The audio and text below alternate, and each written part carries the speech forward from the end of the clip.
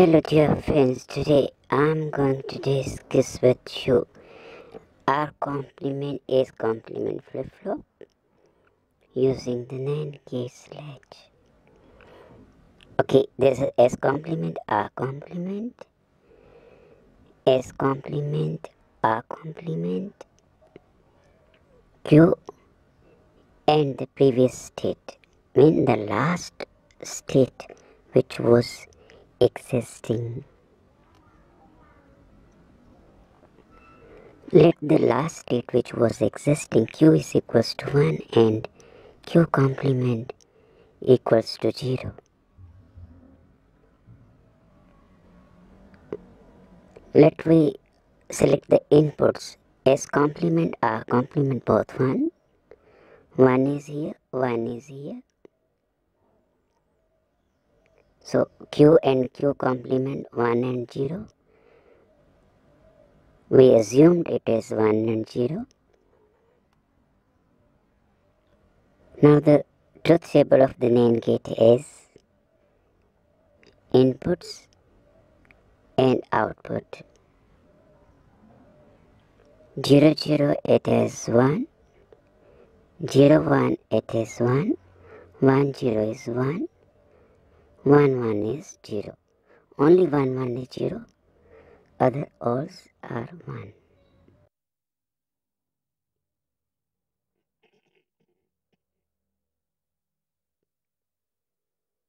So this one, this one 1 will come here. Okay, this 0 is here. That means the whole line is at the low potential, mean at 0. So input of the NAND 1 0 mean 1. 1 comes here and 1 1 is 1 1 is 0. Okay, this is a stable state. The Q is 1. Okay, now we think otherwise. If Q is 0 and Q complement is 1 and again the inputs are 1 1 inputs are 1 1 s complement is 1 r complement is 1 if 0 q is here so this line will be at 0 two inputs of uh, this lower NAND gate 1 0 1 0 mean 1 so okay 1 is here. So the whole line will be at 1 the 1 1 inputs of the NAND gate becomes 0 so the, that will be the stable state. Okay now next, if it is 1, 0, 1 is here and 0 is at here. And previous state we was uh, assuming 0, 1. Okay, 0, this line. So input 0, 0, 0, 0 mean 1. And 1 comes here. And 1, 1 mean 0. This again a stable state.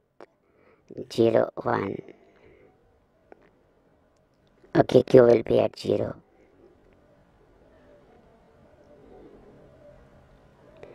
Now if we assume the previous state as 1 0 for the, these two inputs S complement R complement 1 0 what happens then?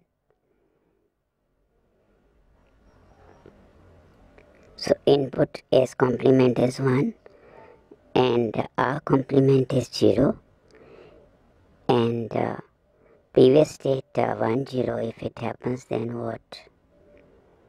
Okay the whole line it is 1 1 comes here and 1 0 is 1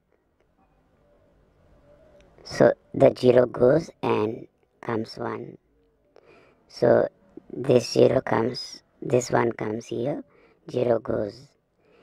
And uh, then the whole this line is at 1 the 1 1 means 0 so this 1 goes and 0 comes here so you just uh, you seen that a 0 this 0 comes here and 0 0 is again you know 1 so that is the stable state.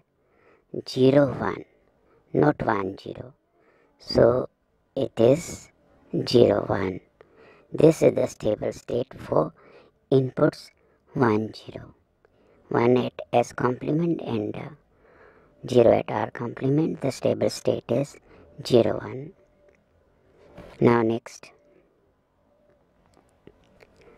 That if again we suppose that the previous state is 0 1 and input is s complement is 0 and r complement is 1 then what happened? So s complement 0 r complement 1 so this 0 line 0 comes here and 0 1 is what? 1 1 comes here and 0 1 is what? 0 1 is 1 1 comes here that uh, this line the whole line is at 1 and 1 1 becomes you know at the lower gate 1 1 becomes 0 so 0 comes here so this 0 comes here and 0 0 is again 1 this 0 comes here 0 0 is 1 so 1 0 is the stable state. Now at q and q complement. Q complement 1 and q q sorry q1 and q complement 0 this is a stable state. Q1 and q complement as 0 this is a stable state for 0 1 okay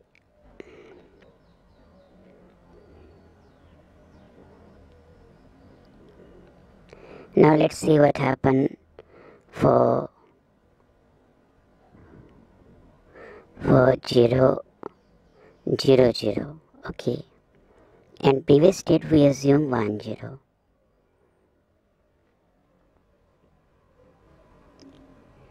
q is 1 and q complement is 0 it we was we we assume um, we were assuming q as 1 and q complement as 0 okay and 0 comes here. 0 0 is what? That's 1 okay this is fine. 1 this line is at 1 now 1 0 0 1 is what? 0 1 is again 1 1 comes here. So this 1 comes here. 0 1 is what? That's 1 but there's a problem. Q the stable state uh, it is giving stable state q1 and q complement 1 this cannot happen because q complement is the complement of q. They should be of opposite in nature. So if the uh, the this the result is coming that the both high there is a forbidden state. So we always avoid forgetting this state. So this is forbidden okay. So 0 0 is forbidden for. S complement R complement as 0 0 it gives the forbidden state. So ultimately if uh, for 1 1 the previous state exists whatever it is for 1 0 for 1 0 the q is always at 0 okay.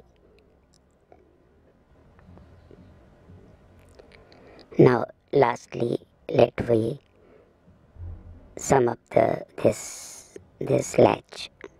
Summing up the latch. If both uh, are 1 1 the last state will exist whatever it is. If q is 0 it will remain 0 if q is 1, it remain 1. For 1, 0, q will be 1. So this is the stable state. So if R complement is 1, S complement 0, Q will be 1 always. Okay. And for 0, 1, it will be Q will be 0 always. For 0, 0, we always avoid this state is forbidden because the result is not complement of the bit. So what's the logic symbol of this latch? It is like this.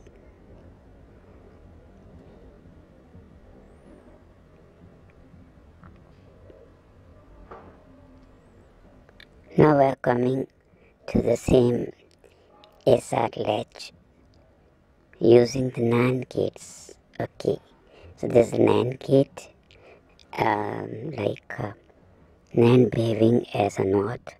This red one, it is actually a NOT gate using the NAND.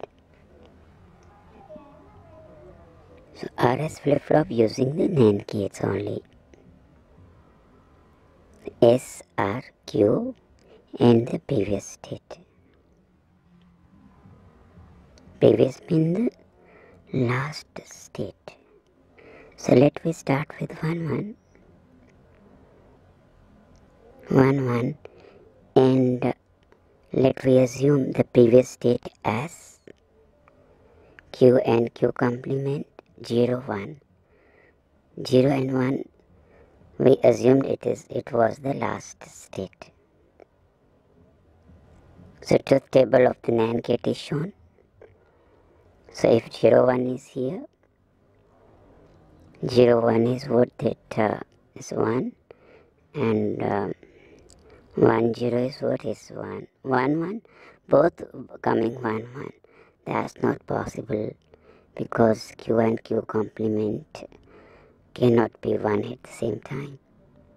As q complement is the complement of q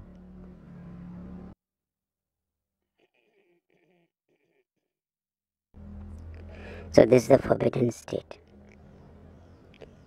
So let the previous state is 0 1 and inputs are 1 0 what happened? 1 0 not get gives 0 1 this 0 comes here. 0 1 is 1 1 is here. 0 1 is 0 1 is 1 1 comes here.